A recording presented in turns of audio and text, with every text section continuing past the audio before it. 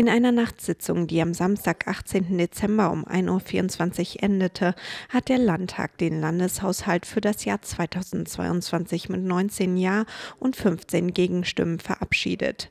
Der Abschluss einer mehrtägigen Debatte, in der die drei Gesetzentwürfe zum Haushalt eingehend und zum Teil auch kontrovers diskutiert und schließlich genehmigt wurden. Das Stabilitätsgesetz, der Haushaltsvoranschlag und das Begleitgesetz mit Bestimmungen zu verschiedensten Bereichen. Der Haushalt umfasst rund 6,5 Milliarden Euro, ein Rekordhaushalt, wie von verschiedenen Seiten bemerkt wurde.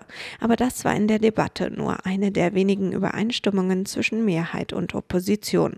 Dass der Landeshaushalt trotz Krisen ja so hoch ausfällt, ist auch den Finanzverhandlungen mit dem Staat zu verdanken, der Altschulden gegenüber dem Land anerkannt hat, wie Landeshauptmann Arno Kompatscher in seiner Haushaltsrede berichtete.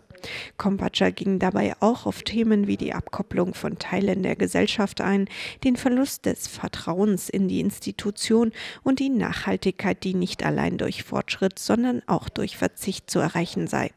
In der Debatte zu den drei Gesetzentwürfen, die aber vor allem an Kompatschers Rede anknüpfte, wurde von mehreren Abgeordneten kritisiert, dass im Gleitgesetz haushaltsfremde Artikel enthalten seien und dass der Haushalt so spät vorgelegt worden sei, um noch eine eingehende Begutachtung zu ermöglichen. Mehrere Abgeordnete, etwa von der Fünf-Sterne-Bewegung Enzian oder Fratelli d'Italia, kritisierten die Erhöhung der Wertschöpfungssteuer IRAP. Das Team K kritisierte, dass die laufenden Ausgaben überhand nehmen und für Investitionen keinen Spielraum hinterlassen. Die Freiheitlichen vermissten eine Durchforstung des Haushalts nach ineffizienten Ausgaben.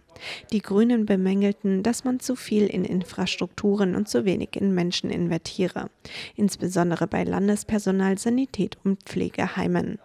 Der Partito Democratico sah die Bedürfnisse der Landeshauptstadt und der italienischen Bevölkerung zu wenig berücksichtigt. SVP, Lega und Forza Italia verteidigten den Haushalt, der in einer Krisenzeit die Unterstützung von Familien und Betrieben ermögliche. Die IRAP-Erhöhung sei nach den Wirtschaftsbeihilfen zumutbar und außerdem nötig, da der Staat die IRAP ganz abschaffen wolle und bei den Ausgleichszahlungen für die Regionen auf den Hebesatz schaue.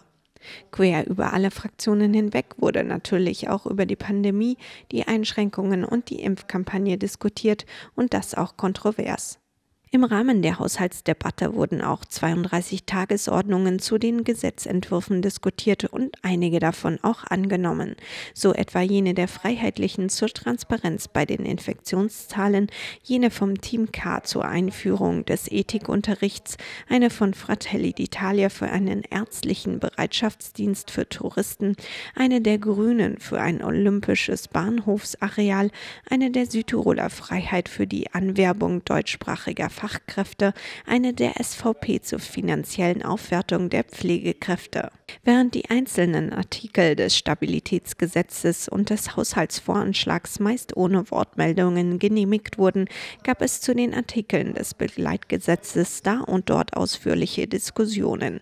Diskutiert wurde zum Beispiel über die ökologische Bewertung der Landwirtschaft, über die Umwandlung von Büros in Wohnungen, über die Aufnahme von Lehrpersonal und über die Auflage Auflage für Geschäfte, nachts die Beleuchtung auszuschalten und bei eingeschalteter Heizung die Türen zu schließen.